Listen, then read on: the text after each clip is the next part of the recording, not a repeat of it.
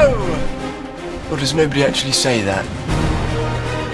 She's here. A demon out there in the ocean. She leaves a mark on men's skin. There is a monster aboard. Maldition!